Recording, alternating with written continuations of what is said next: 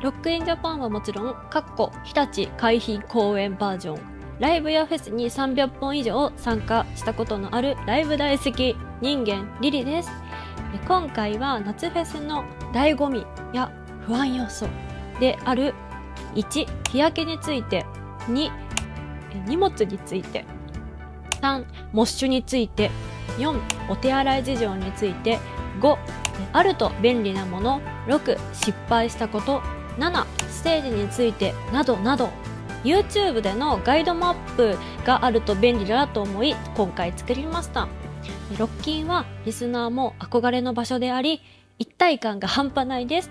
参加できたことを誇りに思いながら、今回こちらの動画を作りました。では、行ってみましょう。えー、まず場所は、えー、千葉市蘇我スポーツ公園です。こちらの場所では、なんとまだ2回目の開催となります。基本的な行き方は、えー、蘇我駅から徒歩8分。もしくはシャトルバスが千葉駅から約20分となっていてでバスが貸し切りのような感じでこう表記がロッキン行きっていうのが私が行った時は表書いてあってこう書いてあったというかこう載ってあってテンションがそこでまず上がりました。でこちら会場行くまでに混雑する恐れがあるので余裕があるといいと思います。では続けてえー、日焼け対策についてなんですが帽子と日焼け止めは必須かと思います。特に首元ここが開いてたりしてちょっとこことかねあの焼けやすいので気をつけてください。で時計も結構腕上げたりとかしてここを上げたりするので時計焼けする恐れがありますので外しておくと無難かと思いますで大きめの少し大きめのタオルがあるよという方は日焼け対策にこうポンチョみたいにこうマットみたいにつけるとつけることがおすすめです。で日傘なんですが、えー、休憩中やグッズ売り場、飲食店舗の列に並んでいる場所に限り、場合に限り、ステージエリア以外での使用が可能で、移動時の使用は禁止となっているので、お気をつけください。でやはり熱中症対策、熱中症対策心がけることも大事だと思います。で万が一気分が優れなかったら救護室があります。続けて行ってみましょう。荷物なんですけど一般的なサイズは1日1000円で預けられて出し入れが自由です。でゴミ袋みたいなのに入れてこうステッカーに名前をと携帯番号かな書いてそのステッカーを袋に貼って袋をスタッフさんに預けるんですけどその時に控えの券がもらえるのででそれまた荷物を取りたい時は記入した電話そこに書いた番携帯番号を言ってスタッフさんと相互確認をして、えー、荷物をもらうという流れです。グッズなどで荷物が増えた場合はだったりかさばるものは預けておくと良いです。で続けてモッシュダイブサークルモッシュは過去にあった事例から禁止されております。で続けてお手洗い事情なんですけれども、えっと、仮設のお手洗いが基本的にステージに近いところにあります。で、えっと、アリーナの常設のお手洗いもあるとのことで女性のお手洗いは過去行った事例では混んでるなという印象なんですけど改善されて数は増えているとのとエリアマップを見て思いました。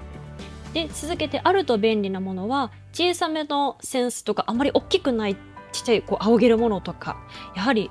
あの風夏で炎天下の中なのでちょっとでもこう風があると楽かなと思います。でミニ扇風機とかもこうあるといいかなと思います。でゴミ袋や、えー、レジャーシート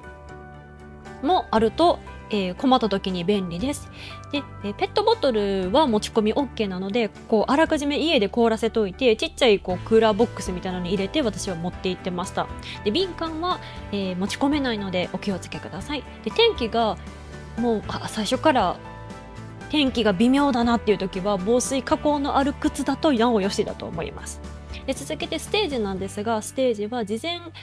に申し込みで当選された方が前方エリアに行く形で入れ替え制となっています。で、えーと、ステージは巨大なステージが向かい合っていてで隣にも、えーと、大きなエリアに2つのサブステージが立って巨大でありながらも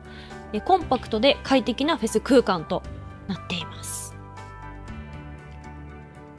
はい、えー、ここまでたくさん話してきましたが、やはり失敗もありまして、で楽しみすぎて終電に乗り遅れそうになって、もう死に物狂いで帰ったことがあるので皆さん終電は何時というのをチェックするように気をつけてください。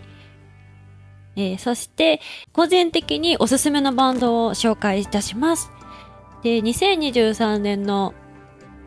第1日目 ?1 日目は、えー、スーパービーバーが出ます。スーパービーバー好きな方に、ハルカミライというバンドがおすすめです。すごくまっすぐ。で、えー、と、続けておすすめバンドはチェリービーンズというバンドで、実力派の3ピースバンドなんですけれども、ガールズバンドなんですけど、マウンディとの共同曲があったりして話題になっています。で2023年2日目のおすすめ、ポルノグラフィティが2日目に出るんですけど、めちゃくちゃ楽しいです。こう、始まった瞬間に全員がこう、わーって、ボルテージめっちゃ上がる形なので、ポルノグラフティの2日目も熱いですね。そして続けて3日目のおすすめバンドは、サカナモンです。で、えー、サカナモンは、やっぱりロいろんなフェスで出てるっていうイメージよりも、ロックインジャパンのこの、要となるキーパーソンなのかなと思います。ぜひ、えー、3ピースのバンドで、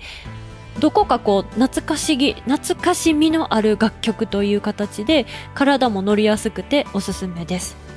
えー、マカロニ鉛筆も3日目に出るんですけども、マカロニ鉛筆好きな方は、美味しくるメロンパンというバンドがおすすめです。で、4日目は、えっ、ー、と、羊文学とマルシーっていうバンドがおすすめで、美を飾って、こう、ライブって楽しいだけじゃなくて、この、フェスの空間と音楽のこの、最高のこのボロ、ボロ、この混ざり合った感じも楽しんでいただきたいです。はい。えー、そして、最終日の5日目は、ダイスが出てるのが印象的で、ダイスが好きな方は、えー、スミカや This is Last というバンドが、えー、特におすすめです。それでは以上、ロックインジャパンの YouTube ガイドバージョンでした。皆さん、えー、ロックインジャパン思いっきり楽しんできてください。いってらっしゃーい。はい、でちょっとおまけのような話なんですけれども、えっと、ロッキンの名物だと思うものの一つにアーティストの過去のロッキンに出たアーティストさんのサインがこう大きなフラッグになって飾られてて何年何年何年ってあるのでそのアーティストさんのアーティストの、えっと、サインの変化とかにも気づけるのがロッキンの醍醐味となっていてそれも楽しいです。でライブスケジュールはやっぱりタイムテーブル通りにうまくいかないこともありますがそれがまた楽しい。